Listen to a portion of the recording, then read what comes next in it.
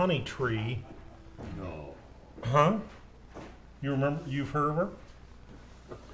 uh, So you're any, any relation to Pooh Bear? no, her name was Nancy Honeytree.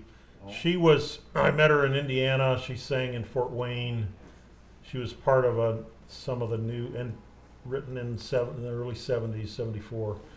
this is a real fun type of song called Hummer Bummer Bashmobile, and I'll I'll uh, fill you in on a little bit of the, and, and there's a lot of puns in here, but I'll, I'll I'll get you started on to understand some of them. Uh, Hummer Bummer Bashmobile. She was an old tin can with a steering wheel. You've all had cars like that. she was a very valiant friend. My old blue car. Guess what kind of car that was? Uh, a Prince? No, no, no, no, no. Prince no. Valiant? A, a Valiant. Plymouth Valiant. Remember, Plymouth. remember I the old couple Kraut, uh, Chrysler products? Princes, 'cause of And my. I used to drive, uh, my mom, I grew up with Chrysler products. And the next line then goes along because if you remember before fuel injection, says she'd never start without complaining and then she'd quit if it started raining. remember before fuel injection? Cars would often um, die in the rain. You needed new spark plug wires then. Yeah, or something. Anyway, and it goes on from there, and I won't tell you all the puns. But um, this is in the key of G, but it's got some interesting runs in it. I don't know if maybe you guys can pick it up. I, you, you guys can. I'll uh, I'll do my best here. Hummer, bummer, bashmobile. She was an old tin can with a steering wheel. She was a very valiant friend, my old blue car.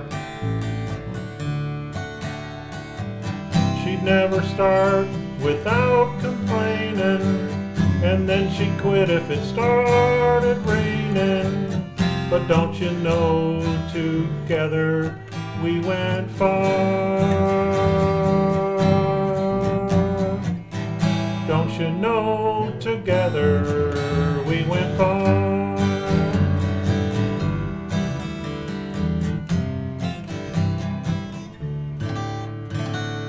Well, Hummer was homely as a car could be, but she had her own personality, and she could take a few hard knocks and never cry.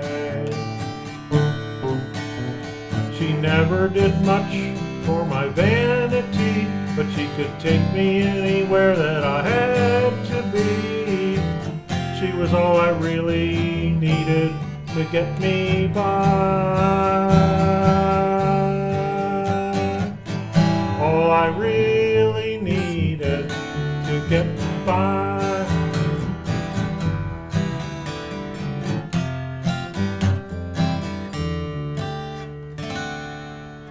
Sometimes the friends who give the strongest love are the ones other people don't think much of. But that's the that's the kind of love you need to get you by.